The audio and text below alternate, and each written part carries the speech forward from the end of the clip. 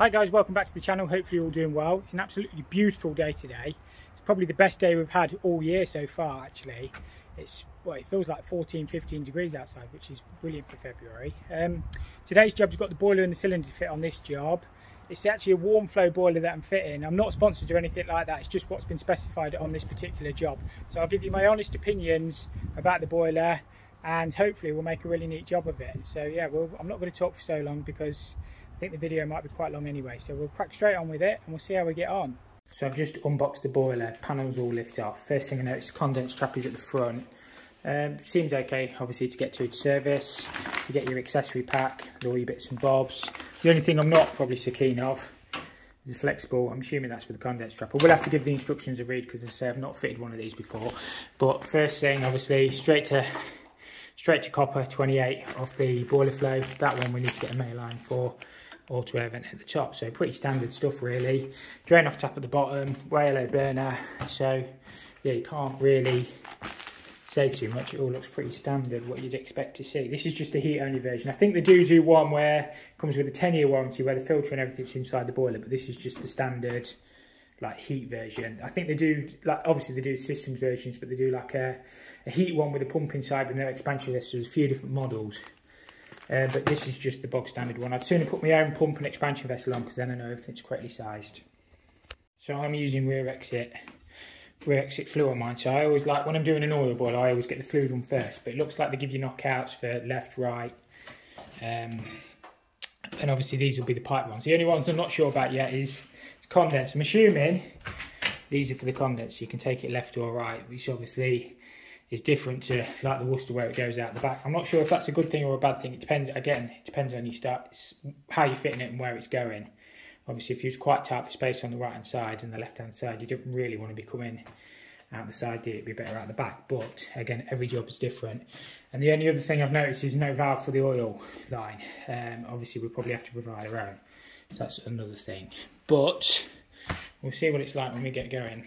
So I've just literally positioned my boiler in position. That's where it's going to sit. You're going to have plenty of room to service this. I know there's a there's a stud wall being built between this point here. So it's literally going to have a set of doors on it. And then obviously unvented cylinder and boiler. So there's plenty of room in front. And I moved that stop tap out the corner just so it's a little bit easier to get to. Um, that flue's going to line up pretty darn well, I would say.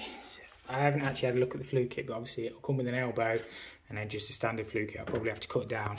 These flow returns I can take out the side. These are my flow returns coming across, but I'm going to put pump, expansion vessel, filter, all that sort of giz gizmo on there.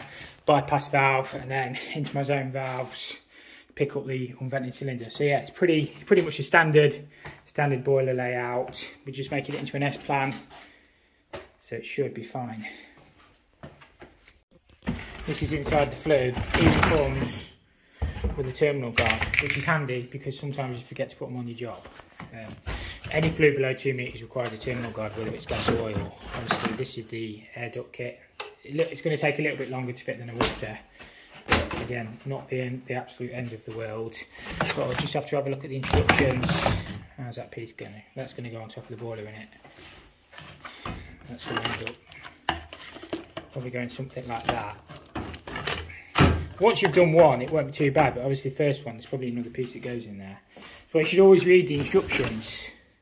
That piece is going to go on the boiler first. It's gonna, it's gonna, that's probably going to bolt on there. So I am going to read the instructions. That's going to bolt on there with them little studs they provide. Then that's going to go in, and then it's just a, it's not telescopic, so we'll have to cut that to length. What's that bit? Oh, that's a clamp or a bracket. Flue thermostat. We'll, have to, definitely have to read the instructions on that bit, but we'll figure it out, it won't be that bad. And I'll get the flue in first, and then we can have a look at the pipe route then. So this just bolts on.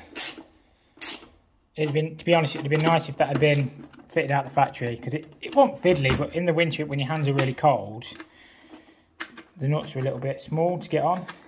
And the socket doesn't fit very well either. Maybe I'm using the wrong socket. But yeah, it's just stuff like that. It saves a couple of minutes you know, when you're fitting it all takes time, doesn't it? Just make sure it doesn't trap by the insulation. So yeah, that goes on first. I don't know if they provide any I don't know if they provide any silicone lubricant grease either, but we'll have a look. and then we'll get the rest of the flue kit made up. It says you need to put the, the flue stat in. That one don't go on there very well. It says you need to put the flue stat in before fitting the flue, so we'll have a look at that bit next. We'll get that done. I have to do this one with a spanner because the stud's not straight. So when you put the socket on, it hits the hits the edge of the flue bit. It's not the end of the world. It'll, it'll still it'll be still fine, but we just need to make sure that it's bolted down. Obviously, that's the flue is critical.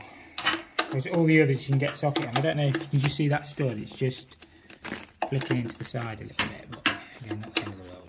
Just make sure that one is tight. And then all the others you can get the little the ratchet on.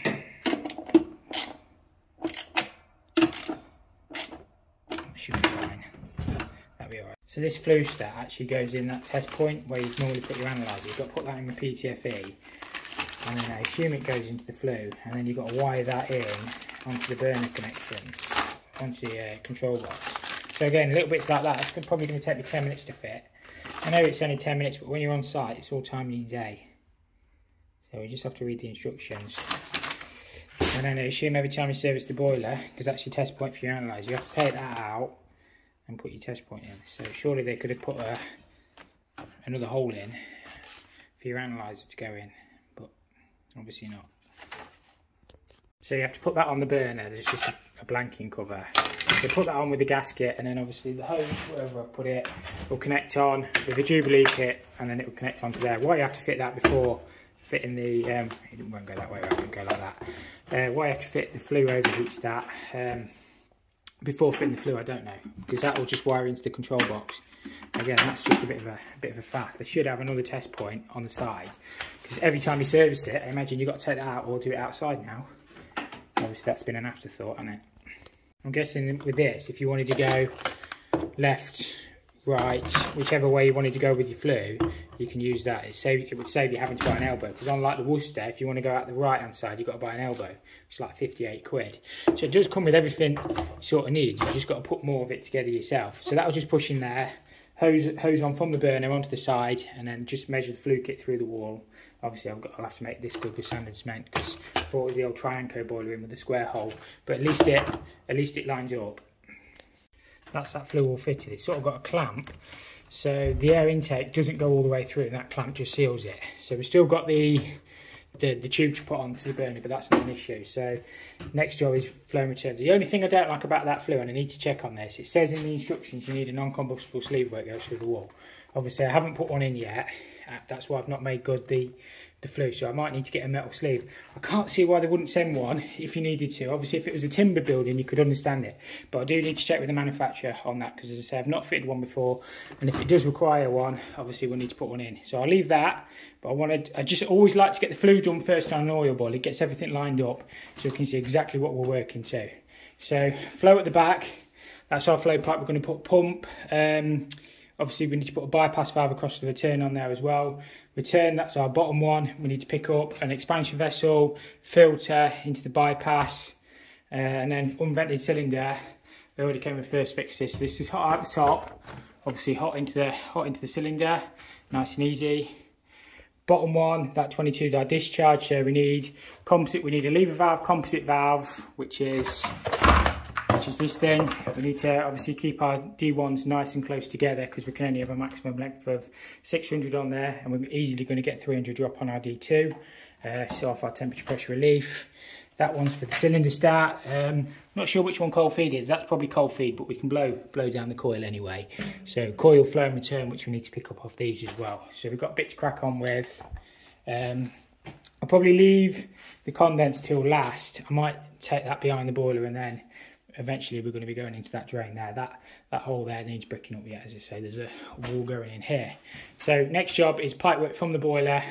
We'll start to get some of this tidied up. That's our cold. That was just a temporary. Uh, I just had a temporary feed off there. But hopefully we should start to get some of this sort of in today. But the unit itself looks looks nice, I think. Very well, very similar to all the other boilers on the market. We're just um, we'll have to see how long it sort of lasts, but I can't see it being a major issue. It doesn't look rubbish, if that makes sense. It looks okay. Right, the connections are nice and easy to to get to on it, boiler's moving all over. Obviously, if you are going up with your pipe work, you will require, I've just spun that out the way, out of the way. You will require a auto air vent or something, but all our pipe work is going to rise up anyway and we'll be able to bleed it through the upstairs rads. So that's not an issue. What I'm going to do is use these knockouts here, I think. I don't know actually. I might use that one for the return and put the filter there. I'll have a think about it. I'm never 100% sure until I sort of, sort of get, get going. It's just sort of thinking in progress. We'll square that boiler back up. Um, but yeah, it's nice that you can spin that out of the way, do all your connections, and then we can connect the hose on last then. That's a good little thing. Absolutely love my Milwaukee. On jobs like these, where you up and down the pipe sizes, it's fantastic. To be honest, this battery, how long have we been on this job? It's down to one star. But that battery's probably lasted like a week. I know I'm not using all the time, but I've done all the copper first fix. If you look back on my other videos, I've done all this and it's not, I've not charged the battery yet. So that 4 amp. I used to have the 2 amp ones. I think they were they to, you only used to last like a day, but that's brilliant, that battery. And the cut's good as well. So just getting this return connected in, I just use a pipe shroud on the boiler, and then we can start to look at all the other parts. All this going to be lagged yet as well. So I never bother with like steel walling anything up because there's literally no point in lagging all, lagging all cover it. Right, I'll try and do this bit without the phone ringing. I've, I've done this twice already, but it won't stop ringing this morning. Um, they're just connected out the boiler. We've got a filter, any air we should be able to bleed out there on the return. Next thing we're going to do is put our pump in. Then we need a bypass valve onto the return. So that's my next little project. Uh, we'll probably just put it in here anywhere. It'll be fine. It'll be nice and easy to get to. Electrician's got plenty of room to flex it up then keep it on the top. Um, so yeah, boiler's all sat in, pump, and then we just, well, I could take the expansion vessel off that return. I'm thinking mount my expansion vessels, my potable one and my heating one up there, so out the way then, and then we'll just get a fill loop across there as well, somehow. But it's just trying to keep everything neat and tidy, um, spaced out so it's easy to work on. And yeah, trying to think about the next person as much as I can really. And then should be fine. Right, I'm having to film this on my phone because the GoPro, I think the fluorescent tube that we've got in the room, the light is at the same frame rate and it's just flicking all over the place. So the quality will be a little bit poor or less than what I normally do. I can't find my pencil. So all I'm doing, I've got one of these Dab Evo uh, pumps. So we'll just cut, cut that out just realised I've used my pipe slice as a camera prop. That was good planning, wasn't it? That. Plonker work, Good planning. Got all the mod cons.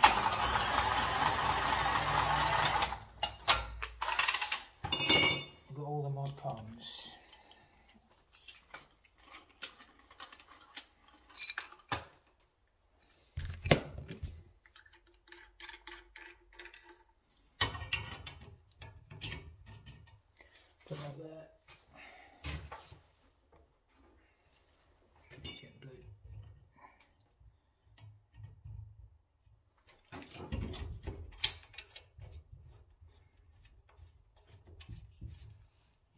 See anything anyway. All the time I work again.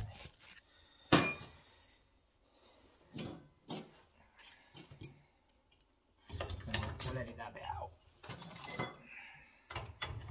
So when it looks like I'm, you can't see anyway. What the hell am I doing? So just tightening the pump up. I'll probably edit all this out.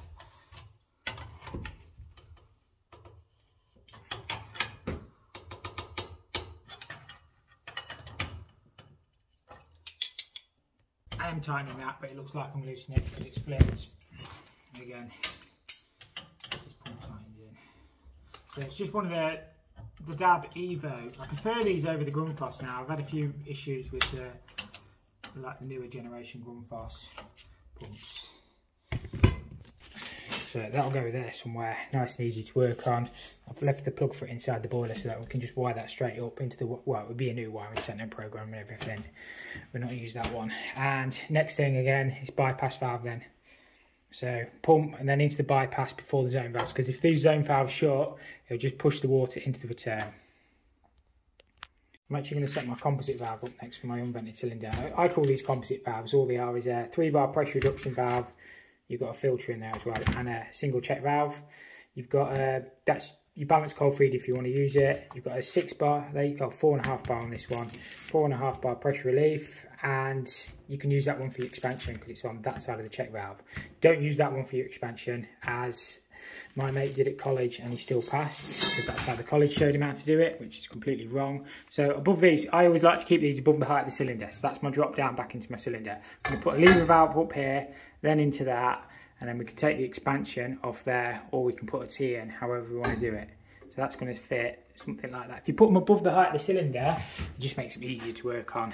Um, and then we, it keeps these distances generally in check because you can only have a maximum of 600 mil before you tundish. So we'll, we'll end up with a T here, a short short piece here, teeing into that one, and then the tundish will sit here, and then we've got our minimum 300 mil drop. We'll probably do that with a pooled bend as well into our into our D2 discharge, which is that bottom one, that bottom 22 mil one that is dropping to the outside. So it literally run across there, and then we just need to terminate as per G3 regulations on the outside, uh, which that's how you've got to do it in our country. Um, so yeah, we'll crack on with that, I think.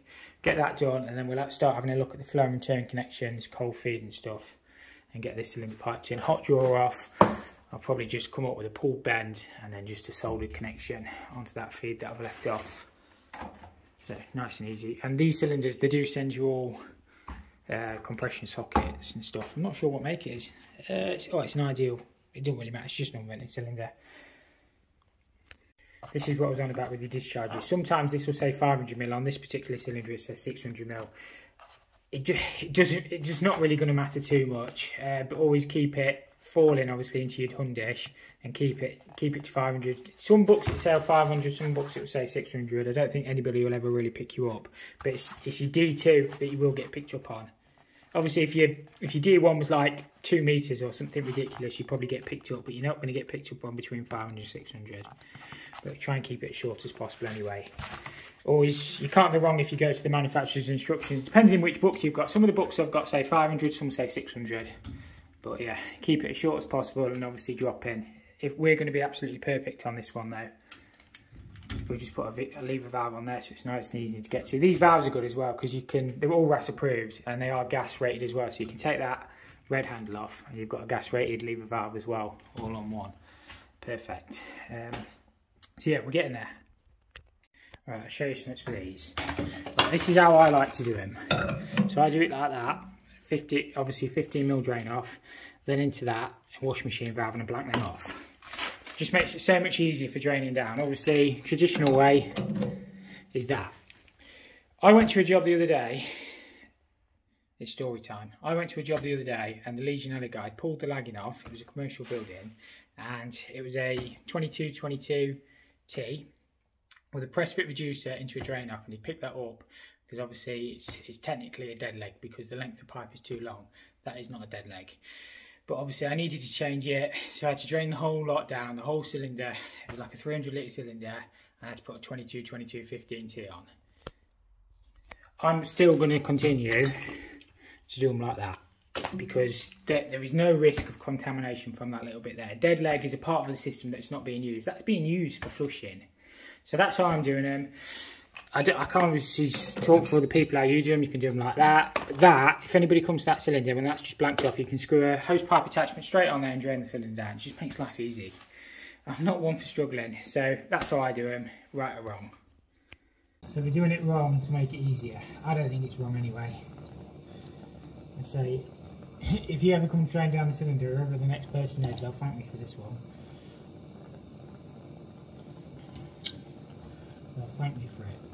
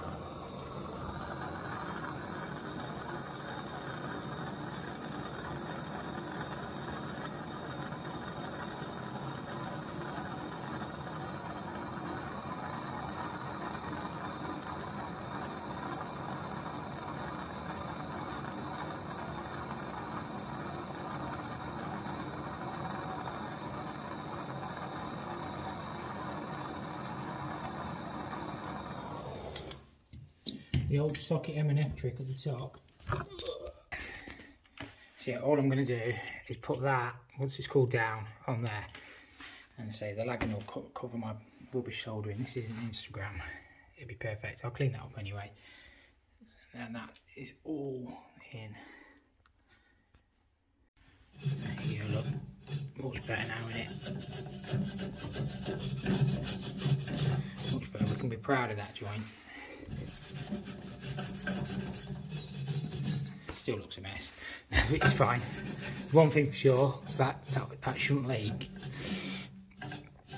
The old socket M&F trick at the bottom because I cut my pipe short. But again, lagging will cover that. My excuse for everything. I do blank these off, but I also leave a, a connection. So that'll just screw straight on there. It's got a rubber washer in. So you can literally, if you want to drain it down, obviously you can crack that straight away. It just makes life so easy. Still got room to get hose on the bottom. You've got what? You've got a good four inches there. So that's perfect. That's how I like to do them. If you want to pick me up, because that's a dead leg, I'll stand there and I'll give you all day and say it isn't. It just makes life easy. I always put a gate valve on my primary return. It's the only thing I use gate valves for in plumbing. What that does, obviously you can balance that down because that won't need full flow through that coil. So if the heating and hot water's on at the same time, a lot of the time it will rob it through the coil so you can just dacre it down. So it's like a lock, it's like a lock shield, having a lock shield on a radiator valve. It's obviously a gate valve. So we'll put that on there, jet blue that up, and then just pick the bypass up off there, pipe that return in, to that one and then hot sorting so I've only got the expansion vessels to do PRVs heating expansion vessel I'm going to cut a fill loop in on the cold so it's just going to loop back around like that and then that's all in then. Uh, I've still got the cold and stuff to tighten at the bottom but we are getting there. This is our potable our Holcim vessel. These come with the cylinder. Um, obviously these need to be serviceable once a year so don't put it anywhere stupid. And also they want to be mounted vertically. Um, I don't know if it says that in the instructions, but obviously there's a chance if you mount it horizontally or any other direction, it can pick up Legionella. So mount them vertically so you can still get to the Schrader valve. I'm actually going to put mine, bit like for me to do one-handed. It's going to go somewhere there. I'll probably centre it across that wall space and then we're just going to pick up off the I can pick it up off here or off here because it's the right side of the check valve and that's the expansion vessel for the cylinder. We've also got a red expansion vessel to put in for the heating so we'll have a fill loop, uh, another pressure relief coming off that but that's separate, that's for the heating. That, that The red one does the boiler, the white one does the unvented cylinder and they come with the cylinder. If you have got a secondary return, which we haven't, often you have to put a larger expansion vessel in but we don't have that problem on this. That should be fine. I always use clip spacings, you know, the pipe standoffs to hold the expansion vessels on. Because obviously the screw holes are a little bit big, but that's solid. Obviously you need to fit these on a solid wall and they should really be hard pipe. We shouldn't really be using flexes. So all I'm going to do is bend out across. We'll try and do that all in one bend if we can. I don't know, I'm probably not that good, but at least it's easy to get to. You can get to the Schrader valve on the top. It's out the way as well. It's in vertical position and it should never really cause a problem. Right, pipe that expansion vessel in like that in the end. I think it looks neat enough. So if you ever want to drain that expansion vessel, obviously turn the water off, open the hot tap and you can just pump it out. And it'll pump out the cylinder and that'll be fine. Next one is heating vessel. I'll try and line that up if I can. Obviously I'm going to cut a fill loop in so it hangs round. That's the cold. Uh, which one's my return? That one's my return. So I'll put the check valve on the cold side and it'll just hang round and it's nice and easy to fill. And obviously the vessel up there somewhere. That's the plan. Most of the pipework is in now. Obviously I've still got to lag all this.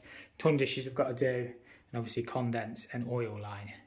But yeah, that'll probably be a job for another day. If I can just get the vessel done, fill loop on, I'll be fairly happy today. Right, that's the fill loop in. Um, double check valve one on the cold side other one on the heating side. You can drain down through there. The reason we've got a random drain off tap in there now is because I cut the wrong pipe. I don't know, I just want thinking. You'll be able to drain the upstairs heating into the tundish, so it's not a bad thing. But you can drain it through there as well. But yeah, that's all done. Just got that expansion vessel to pipe in. Today, I'm going to call it a day. It's Friday. It's getting on a bit now as well. I didn't get the earliest of starts because obviously I had to pick the, that light is terrible. I had to pick the boiler and stuff up. So yeah, I want on site early enough, really. Um, but we still got quite a bit done. All the boilers piped in, primaries are all done, hot's all done, expansion vessels in, that'll be in. So yeah, it's looking looking okay. We're getting there. Right, them and discharges all in. There's an argument, and it'd be interesting to know what you how you guys do it, that this is wrong. This technically shouldn't be teed into there. Anything on the unvented discharge, a heating one should be completely separate. I've done it like that, just because obviously it was easy, and you see loads done like that. Obviously, when you size your D2 pipework on your unvented, you don't take into account heating, heating vessels going into it as well. But from experience, I've never seen one that's ever caused a problem. So these are within, well, that one's 350 mil, that one's 350 mil, and that one I think is 500 mil. Um, we've got, obviously, we've got a massive drop, and we've only got one knuckle bend on it, and then it goes straight out the wall. That's falling all the way across. I'll stand back a little bit so you can see we've got a good gravity fall on that. So I don't think that's ever going to cause a problem. I don't think that anybody will ever pick that up. My next job is literally just to lag all the pipes. So we'll crack on with that. Right, that's got the, this little job all sorted. Uh, I've been round and labelled up all my pipe work as well. I've only got, unfortunately, I've only got hot water flow tape in the van, so I need to pick some cold up. Uh, I still need to put a clip-on thermometer on here. This cylinder needs to be kept at 60 degrees. So all I'll do is get one of them ones that strap around, which will be fine. I've made the best job of the lagging. There might be one or two bits I just need to sort. Sometimes you see bits as you go along. I've just tied that cold in temporarily. I've still got to put a Surestop on this anyway but that's just temporarily tied back in just to give it some water back on. So yeah, we're pretty much there with the boiler. I've still got oil line and condense to do. So there's one or two bits to finish off, obviously all the wiring and stuff. But I think I'm going to end the video there just because it's probably getting quite long. Um, I will be back on this job to obviously fill up, test, commission, set all the flow rate, flow temperatures and stuff like that up. But that probably won't be for a bit because I'm sort of getting worked up on this one and the job's starting to pile up at all the places. So um, so yeah, if you've enjoyed this one, make sure you hit the like button. If you didn't, hit the dislike button. We'll see you all in the next one. It probably won't be back on the renovation for a bit, depending how it goes. Sometimes you, you don't always know. But yeah, um, might be a bit more of a jobbing video, but we'll try and keep it interesting. So yeah, thank you for watching, and we'll see you in the next.